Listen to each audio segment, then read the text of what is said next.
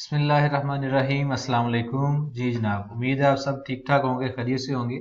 आज मैं इस वीडियो में बताऊँगा आपको कि सी अकाउंट आप कैसे बनवा सकते हैं, कैसे खोल सकते हैं किसी भी कंपनी के लिए। जैसे मैंने पिछले दिनों, पहले मेरा कॉल कोरियर का अकाउंट था और लेपर्ड और टीसीएस के साथ मैं वैसे ही काम करता था। वैसे मीन्स कि मैं यहाँ से पार्सल भेज देता था और पेमेंट मुझे जो कस्टमर था वो जैज कैश या इजी पैसा के थ्रू करता था। सीओडी अकाउंट से मुराद ये है कि कंपनी आपका एक अकाउंट बनाएगी, आपका अकाउंट बैंक अकाउंट नंबर लेके, और उसका बंदा जब कस्टमर को पार्सल देने जाएगा तो वो वो जो राइडर है या कह डिलीवरी बॉय है, वो उससे पेमेंट रिसीव करेगा। पेमेंट आपकी कंपनी में आएगी और कंपनी से आपके अकाउंट में आएगी। इसको कहते हैं COD account cash on delivery account तो वो मैंने काल कोली का अप्लाई किया था, आपको मैं उसका प्रोसीजर बताता हूँ। बड़ा इजी है, आपने सबसे पहले काम ये करना है अगर आपने टी सबसे अच्छी कंपनी है, लेकिन सबसे महँगी भी है, ये मैंने पिछली वीडियो में आपको बताया था। लेपर्ड सेकेंड नंबर में मेरे ख्याल में आती है, और उसके जो चार्जेस हैं, वो भी TCS से काफ़ी कम है। तो मैं लेपर्ड रिकमेंड करता हूँ तो मैंने भी अपना अकाउंट खुद उसी का ओपन करवाया है। तो मैं उसकी आपको गाइडेंस ज़रा दे देता हूँ थोड़ी सी।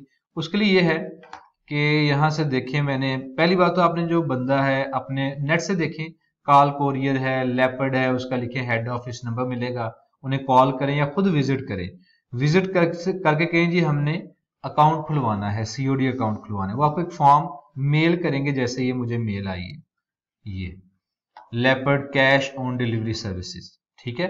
इसमें उन्होंने ये सारा कुछ इंट्रोडक्शन दी है कैसे उन्होंने सर्विस प्रोवाइड करनी है। ये उनके चार्जेस हैं कि 500 ग्राम तक जो हंड्रेड रुपीज़ है विद इन सिटी और सेम प्रोविंस में 140 हैं और अदर प्रोविंस में वन वो भी 140 है। और ये बड़े अच्छे रेट्स हैं। 500 एक ग्राम से, यानी अगर आप 500 ग्राम को क्रॉस करते हैं वन के जी तक, ये तकरीबन टेन रुपीज़ यहाँ और ट्वेंटी रुपीज़ यहाँ पे ऐड हो जाते हैं।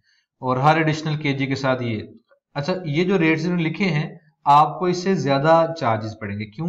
अगर आप नीचे देखें तो ये तो खैर फ्लायर की बात कर रहे हैं, नीचे कहीं टैक्स भी है, ये देखें twenty percent fuel and GST as per law will be charge on courier charges तो जो आपको 20 परसेंट टैक्स पड़ना है, उसमें मिला के आपको अंडर 200 या 200 के करीब जो है वो डिलीवरी के चार्जेस पड़ेंगे, ये ठीक है सर्विस इनकी अच्छी है।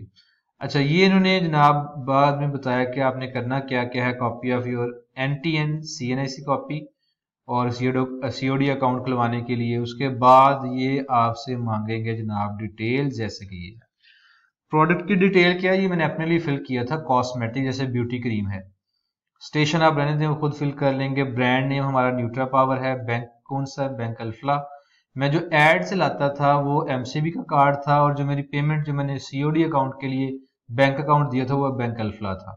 उसके बाद जनाब ये फवाज अहमद नाम, उसके बाद ये मेरा बैंक अकाउंट नंबर आ गया।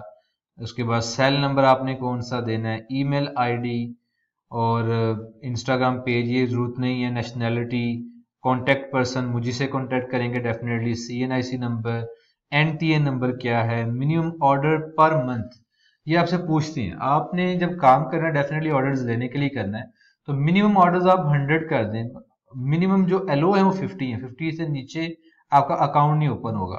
तो आप हंड्रेड कर दें, उससे ऊपर जितने मर्ज़ी कोई इशू नहीं है, कम नहीं होने चाहिए। तीन माह तक अगर आपके कंटिन्यूसली ऑर्डर्स कम रहते हैं, पचास से कम तो आपका जो सीयूडी अकाउंट है वो क्लोज कर दिया जाएगा। अच्छा तो बाकी आपने अपना एड्रेस देना है और ये वो जो सेल्स पर्सन थे, आपने सिग्नेचर करके साथ आईडी कार्ड की कॉपी प्रोवाइड करनी है और within seventy two hours बहत्तर घंटे यानी तीन वर्किंग डेज़ में आपका अकाउंट जो है वो ओपन हो जाएगा। एक तो ये बात है कि अकाउंट कैसे ओपन आपने करवाना है, ठीक है? अकाउंट ओपन करने के अलावा जो एक और बात है कि आपको पेमेंट कैसे आती है? देखें जो कंपनीज़ है, उनका डिफरेंट साइकिल होता है। जैसे मैं काल कोरिया के साथ काम करता था तो उनका पंद्रह दिन का साइकिल था। या तो पंद्रह दिन बाद आपको पेमेंट आ जाती थी, जितनी भी होती थी। मुझे पहली पेमेंट शायद कुछ चार पाँच हज़ार आई थी ऑर्डर शुरू में कम थे। और, या फिर ये होता है कि पंद्रह हज़ार के करीब आपकी अगर वो इनकम बन जाए। जो रेवेन्यू है, अगर आपका पंद्रह हज़ार के करीब बन गया, वो चाहे दो तीन दिन में बन जाए तो आ जाएगा। अदरवाइज़ फिफ्टीन डेज़ के बाद आपका वो बैंक में पेमेंट ट्रांसफ़र हो जाती है। तो इसका मतलब ये कि आपको थोड़ा सा दस पंद्रह दिन वेट करना पड़ता है। ये नहीं कि आज आपने एक पार्सल भेजा, कल कस्टमर को रिसीव हो गया। उस कस्टमर ने कंपनी को पैसे दे दिए, वो कंपनी फ़ौरन एक एक ऑर्डर करके आपके अकाउंट में नहीं भेजेगी। वो थोड़ी सी अमाउंट जमा करके फिफ्टीन थाउज़ेंड के अराउंड जो कंपनी टू कंपनी वेरी भी कर सकता है। फिर आपके बैंक अकाउंट में ट्रांसफ़र करेगी। कई दोस्त पूछते हैं जी अगर एनटीएन नंबर ना बना हो, आपका अगर टैक्स नंबर नहीं, कोई जैसे टैक्स पेयर नहीं है आप तो फिर फिर आपको कंपनी से रब्ता करना पड़ेगा। वो शायद उसका कोई अल्टरनेट दे दें। सी एन एस की बेस पे काम चल जाए। जैसे मैंने काल कोरियर के साथ काम किया तो उन्होंने एन टी एन नंबर मुझसे नहीं मांगा था। ये लेपर्ड के साथ काम किया, उन्होंने एन टी एन नंबर मांगा। दूसरी बात, कई ऐसी कंपनीज़ हैं जैसे एम एन पी था, जैसे टी सी एस थी इन्होंने कंपनी के लेटर हेड पे एक एप्लीकेशन भी मांगी थी और कंपनी का जो विजिटिंग कार्ड है, या आपका विजिटिंग कार्ड है, वो भी इन्होंने रिक्वायर किया था। जबकि ये लेपर्ड के साथ ऐसा नहीं। तो कंपनी टू कंपनी जो है, वो रिक्वायरमेंट्स वेरी भी करती हैं। ये मैं चूँकि लेपर्ड का अकाउंट बनवाया तो मैंने उसके मुतालिक आपको गाइड कर दी है।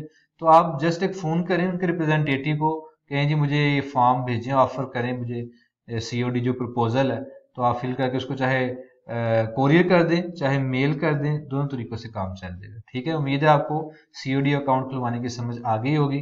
किसी किस्म के क्वेश्चन की सूरत में आप कमेंट्स में लिख सकते हैं, मैं इनशाला आंसर करूँगा। बहुत शुक्रिया। अल्लाह हाफिज़।